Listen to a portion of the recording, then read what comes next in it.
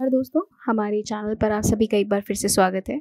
आज के वीडियो में हम बात करने वाले हैं कि इंडियन आर्मी में डॉक्टर कैसे बने। जी हाँ बहुत लोगों का सपना होता है कि वो इंडियन आर्मी ज्वाइन करें और नेशन के लिए सर्व करें मतलब अपना योगदान दे, राइट? तो उसके लिए आज इस वीडियो में हम बात करेंगे तो आप, अगर आप इंटरेस्टेड हैं या फिर आपका भी सपना है कि आप इंडियन आर्मी में जाके सर्व करें नेशन के लिए सर्व करें तो आप इस वीडियो को अंत तक ज़रूर देखिए। तो जो कैंडिडेट है, उसको इंडियन आर्मी ज्वाइन करने का जो प्रोसेस है, वो बेसिक प्रोसेस की अगर हम बात करें तो उसमें ट्वेल्थ में, जिसमें सिक्सटी परसेंट मार्क्स आपको लाने ही होते हैं और आपका जो बोर्ड है, वो रिकोगनाइज बोर्ड ऑफ़ इंडिया से ही होना चाहिए। यानी कि सी है या स्टेट बोर्ड है या फिर आई बोर्ड है। तो उसके बाद फिर आप नीट क्वालिफाई करिए। उसके बाद आपको नीट एग्ज़ाम देना होता है। जो शॉर्ट लिस्टेड कैंडिडेट्स होते हैं, वो ए एफ़ एम सी के द्वारा बुलाए जाते हैं इंटरव्यू के लिए, जो कि पुणे में है। ए एफ़ एम सी में भी डेढ़ सौ के करीब ही कैंडिडेट सेलेक्ट हो पाते हैं। मतलब उनके पास सिर्फ़ डेढ़ सौ सीट्स होती हैं, जिसमें से एक सौ पंद्रह सीट्स होती हैं, वो मेल के लिए होती हैं।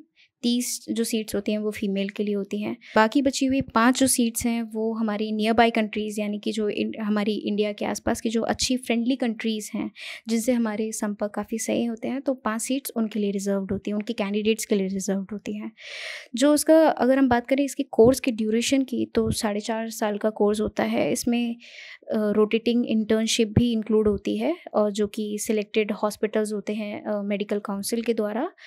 उन, उनमें आपकी इंटर्नशिप जो कैंडिडेट्स की इंटर्नशिप है, वो कराई जाती है।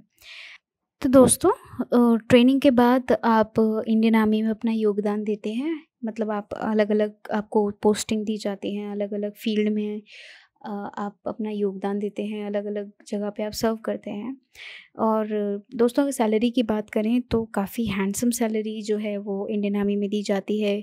उसके साथ साथ जो आपको अलग अलग लाभ भी मिलते हैं, जैसे बहुत सारी चीज़ें हैं बेसिक नेसेसिटी से लेके आपकी एकोमोडेशन से लेके आपकी बहुत सारी तमाम चीज़ें जो हैं, वो आपको इंडियन आर्मी प्रोवाइड कराती है।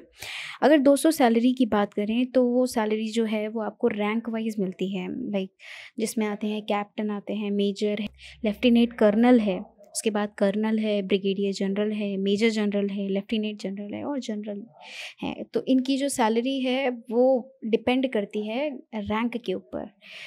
दोस्तों, रिटायरमेंट के बाद आप मेडिकल फ़ील्ड में एक अच्छा करियर बना सकते हैं, क्योंकि आपको अच्छा अनुभव हो जाता है इंडियन आर्मी में, एज एन डॉक्टर काम करके अपना योगदान दे के और दोस्तों, आज के वीडियो में हमने बात करी थी इंडियन आर्मी के मेडिकल सिलेक्शन प्रोसेस के बारे में।